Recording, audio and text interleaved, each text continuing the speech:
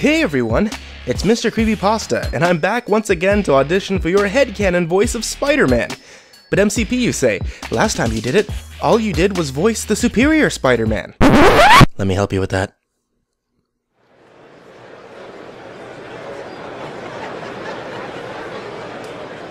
Um, as most of you probably know, I'm, uh, guarded my secret identity pretty carefully over the years.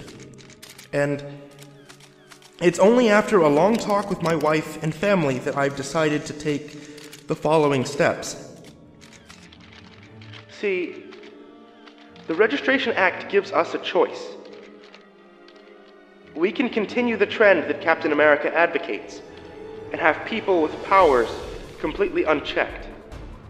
Or, superheroes can go legit and earn back a little public trust.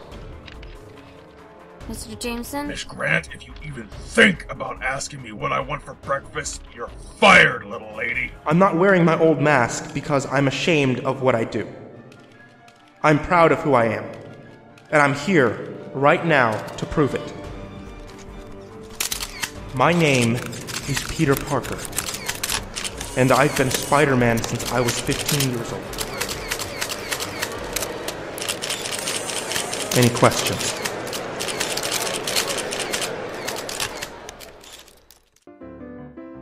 So, Spidey, looking back at all these personal attacks, I gotta ask, why, in your opinion, does Jameson have it out for you?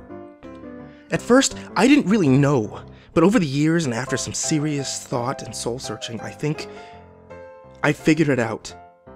The real reason Jonah hates me is because I'm black. I, I, I, I didn't know. I, I mean, I have nothing against them. Would never have. Some of my best friends are. Uh, uh, Kidding. Sorry. No further questions, Your Honor.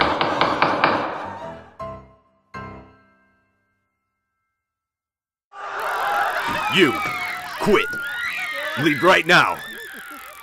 This weapon has a hundred thousand volts, and I'll tag this girl with every last one of them unless you. The spiders. Uh, what?